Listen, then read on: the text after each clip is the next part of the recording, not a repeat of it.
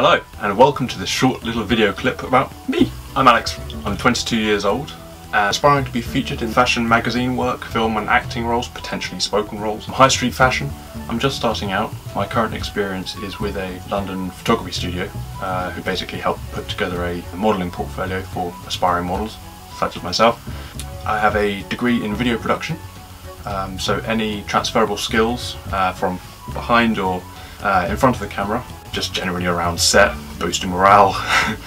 Absolutely zero tattoos, so a completely blank canvas. Design, draw on, go bald, uh, anything really I'm up for. And of course thank you for taking the time to watch this little video about me.